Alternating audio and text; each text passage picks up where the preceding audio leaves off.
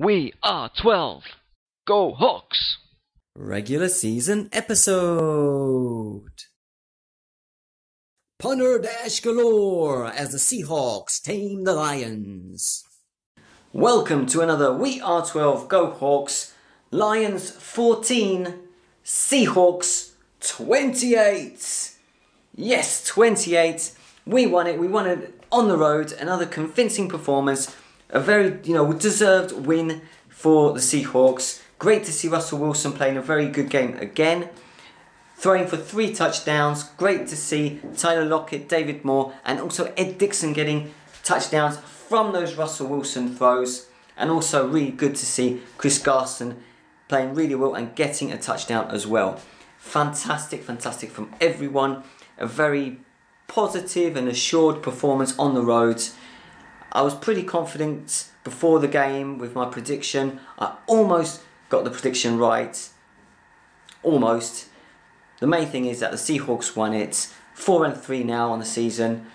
Hope to see a lot more positivity. But one thing I have to do before I wrap up this episode of We Are 12 Go Hawks, the whole thing, the whole game was summed up right, almost right at the end by our punter, Michael Dickson with a fake punt. You know, that was that was just the icing on the cake. From our end zone, faking the punt, going for it, running, making those yards, getting the first down, and keeping us with the ball for those extra seconds and really cementing our win there. And also, as I've also read, and I agree with this, he is the, well, I think it was something like the baddest uh, punter in the NFL.